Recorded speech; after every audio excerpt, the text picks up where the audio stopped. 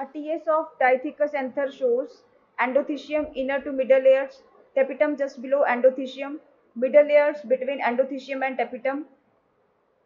tapetum below epidermis. Dithecus anther क्या show करता है टीएस में दैट इज़ की जो मिडल लेयर है वो एंडोथीशियम एंड टेपिटम के बीच होती है हमें पता ही है कि अरेंजमेंट क्या होता है पहले एपिडर्मिस है हमारी देन हमारा क्या होता है एंडोथीशियम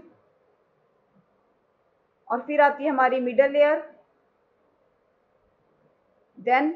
हमारा आता है टेपिटम राइट